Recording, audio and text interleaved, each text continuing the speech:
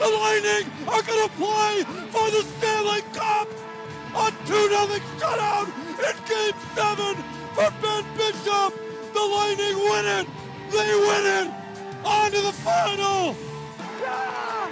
We're going to the cup! Oh. The peak of joy and the agony of defeat. The Rangers turn back, the teams exchanging pleasantries in the customary handshake line. Got it, AJ.